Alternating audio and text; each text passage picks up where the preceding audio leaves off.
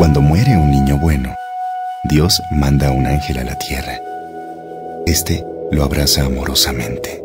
Despliega sus enormes alas blancas y emprende el vuelo por encima de todas las ciudades que el niño ha conocido y amado. Recoge muchas flores a su paso y se las lleva al cielo para que florezcan allí más hermosas que en la tierra. El Señor pone las flores entre sus brazos y besa a la más hermosa, que recibe así el don de la palabra para cantar las bienaventuranzas del paraíso. Un ángel le contaba esta historia a un niñito recién fallecido que llevaba en sus brazos. El niño la oía como entre sueños mientras volaban por hermosos jardines llenos de flores. ¿Cuáles nos llevaremos para plantarlas en el cielo? preguntó el ángel. Vieron un rosal precioso, pero una mano salvaje había partido su tronco y las ramas colgaban, llenas de capullos medio secas. Toma al pobre rosal para que pueda florecer en el cielo, le dijo el niño. Y el ángel así lo hizo, y besó al niño en la frente. El pequeño entreabrió los ojos. Llevaron otras flores hermosas y también algunas humildes margaritas y unos pensamientos silvestres. ¿Cuántas flores tenemos? Exclamó el niño. Y el ángel sonrió, pero no levantó el vuelo para ir al cielo. Era de noche. Todo estaba en silencio. Se quedaron en la ciudad y pasaron por un callejón muy estrecho en que había montones de paja, de ceniza y basura. Había platos rotos, figuras de yeso rotas, trapos y sombreros viejos, cosas que ya no servían. El ángel señaló los pedazos de una maceta que asomaban por debajo de las inmundicias y un montoncito de tierra que las raíces de una planta reseca mantenían unido. A esta también nos la llevaremos, dijo el ángel. Mientras se alejaban volando, el ángel le contó al niño. Allí abajo, en una casa que da al callejón, vivía un niño pobre y enfermo. Estaba siempre en cama y cuando se sentía bien, lo más que podía hacer era dar un par de vueltas por la habitación, ayudándose con unas muletas.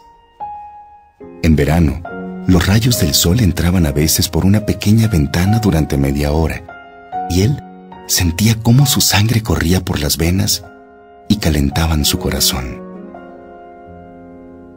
Un día de primavera, el vecino le llevó también unas flores del campo y por casualidad, una de ellas conservaba todavía su raíz.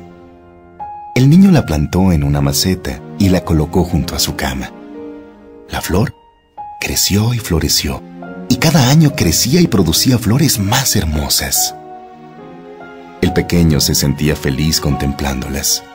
Le parecía que tenía un jardín para él solo, aunque aquella humilde maceta era lo único que poseía en esta tierra.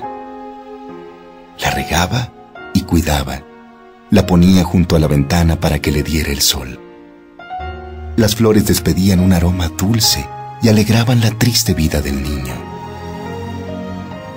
Cuando Dios le llamó, su última mirada antes de morir fue para su planta.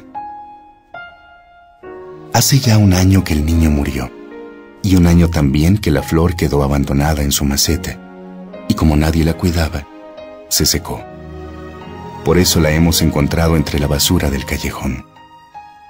Nadie la quería ya, pero nos la llevaremos, porque esta pobre flor, humilde y silvestre, ha hecho más bien y ha dado más alegrías que las rosas del jardín de una reina. ¿Y quién te ha contado todo eso? preguntó el niño al ángel. Lo sé, porque yo soy aquel niño pobre y enfermo que andaba con unas muletas, dijo el ángel. Conozco muy bien a mi flor. Sorprendido, el niño miró la cara feliz del ángel en aquel momento se encontraron en el paraíso donde reina la alegría. Dios tomó al niño entre sus brazos, le tocó la espalda y le nacieron unas hermosas alas de plata y con ellas se alejó acompañando a los demás ángeles. También las flores, pero solo besó a la pobre florecilla humilde y marchita que empezó a cantar a coro con los ángeles que volaban alrededor de Dios, en infinitos círculos. Todos cantaban felices porque tenían por compañera a la flor marchita que recogiera un ángel entre la basura de un callejón en una ciudad de la tierra.